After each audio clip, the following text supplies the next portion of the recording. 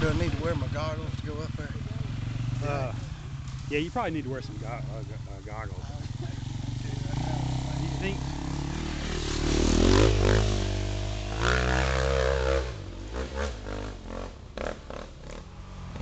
What logs in my way?